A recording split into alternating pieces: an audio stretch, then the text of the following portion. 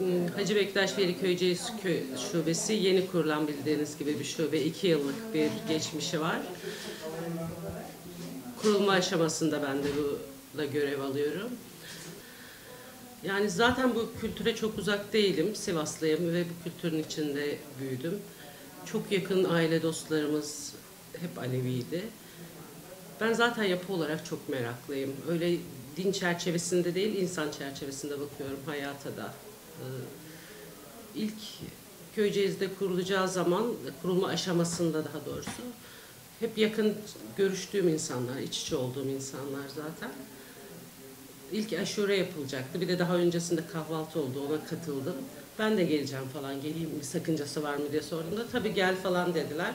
Birlikte güzel bir organizasyonla aşure yaptık. Ben büro yönetimi sekreterlik mezunuyum aynı zamanda. İşte orada böyle biraz şaka usulü seni de alalım, yönetimi alalım diye konuşuldu ama tamamen ciddi bir şey konuşmadık hiçbir zaman.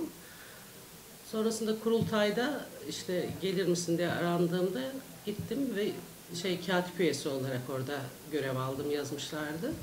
Liste önüme geldiğinde yönetimde vardım ama direkt bunu konuşmamıştık. Hep söyleniyordu işte seni de Bektaşi yapacağız bizden katıl aramıza falan diye hiç yadırgamadım. Uzak bir kültür değil benim için. Çok da mutluyum burada olmakla. İki yıldır e, çok güzel işleri yaptık burada. Tabii çevreden de çok tepki aldım ben. Şey falan oldu yakın arkadaşlarım. Aa 30 yıldır bizden Alevi olduğunu saklamış bak falan diye söylentiler falan oldu. İşte ne yapıyorsunuz siz orada? Sen sünni olarak ne yapıyorsun falan diye soruyorlar. İşte ben anlatıyorum birebir. Biz her şeyin içindeyiz. Gerçekten burada herhangi bir sorunda e, vakıf olarak bütün STK'larla birlikte bir sürü kampanyalar yaptık. Deprem zamanında diğer muhtaç öğrencilere yani birebir bir sürü ufak tefek şeyler e, yaptık. Öyle iki yıl oldu. Ne Peki anlatayım, örneğin- ne anlatayım bir şey oldu. İzmir'de oturuyorduk. İşte apartmanda bir ısınma sorunumuz vardı. Yanında da Buca Cemevi var. İnsanlar şey diyordu, orada işte şey var, doğalgaz var, ısınmaya gidiyoruz falan diye. Tam kış ayları da.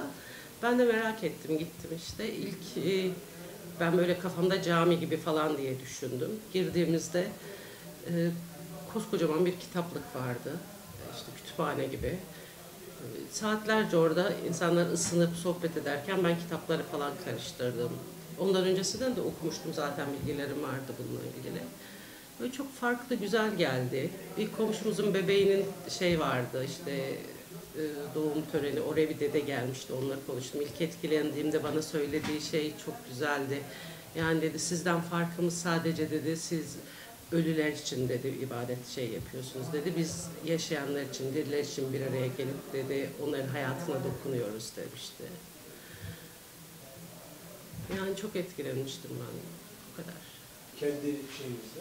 Aa biz genellikle böyle bir görev tanımımız yok. Sadece e, yani şube Prosedüre göre sekreter işte sekreteriz ama biz yeri geliyor hepimiz her işlerimizi Herkes ve her birlikte şeyi- yapıyoruz. Yani şey olmuyor. Farklı işler öyle bir bu benim işim bu senin işin diye bir şey yok. Hep bir aradayız. Birbirimizle fikir alışverişinde bulunup konuşup ortak karar veriyoruz genellikle. Ee, Yoksa öyle bir görev tanımı sadece Yok. kağıt üzerinde aslında öyle bir Aynen. şeyimiz yok.